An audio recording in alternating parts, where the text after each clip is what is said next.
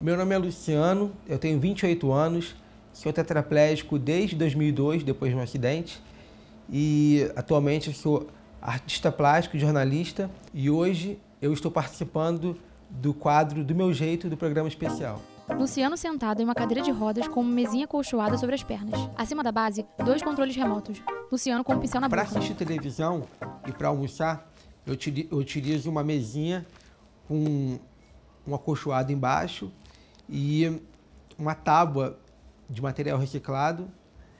E aí eu coloco tanto o controle quanto às vezes também um livro, né? Então me facilita bastante para poder ligar, mudar o canal e a altura dela é propícia para que eu não tenha que abaixar muito para mexer no controle. Ele coloca a haste com borracha na ponta sobre a tecla de um dos controles remotos. Televisão com ícone de volume.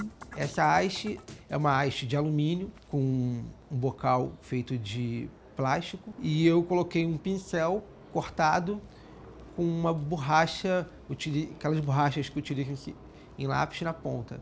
Essa borracha ela dá aderência o suficiente para poder manusear o controle, mexer no controle. Mão do Luciano em cima de uma alavanca acoplada à cadeira motorizada. A minha cadeira também tem uma adaptação, porque eu sempre quis ter uma cadeira motorizada depois do acidente, mas eu só conhecia o joystick no queixo. E como eu tenho uma alergia no rosto, me, me incomodava bastante utilizar eh, a cadeira com queixo. Então, um amigo que tem a mesma lesão que eu utilizava eh, a cadeira com a mão e eu comecei a ver como ele fazia. Dois suportes, sendo que um deles tem um leve corte eh, antes do final, antes da mão. E nesse corte eu coloquei um joystick com uma base maior que permite que a mão fique bem encaixada ali e faça todos os movimentos sem que ela saia do lugar. E isso me deu bastante liberdade. Movimentando o joystick, ele anda pela sala. A minha mãe saiu agora, mas já deixou tudo pronto aqui para que eu não tenha necessidade de nada. Então, um computador, uma caixa de papelão com plástico eh, aderente para colocar o teclado, de maneira que ele não caia. Essa haste de alumínio, um suporte de acrílico com eh, seis furos, que eu coloco o adaptador de boca, e o telefone, que eu consigo tirar do gancho com essa haste, atender, ligar, e o controle da televisão que fica em cima do telefone para eu poder mudar os canais da televisão. Atende com a haste.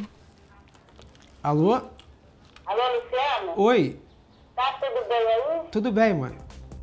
Coloca o telefone no gancho. Depois do meu acidente, quando eu entendi o que aconteceu comigo, eu comecei a buscar todas as formas de ser o mais independente possível, dentro, da minha, dentro das minhas limitações. E aí eu comecei a desenvolver várias formas de poder fazer as coisas sozinho.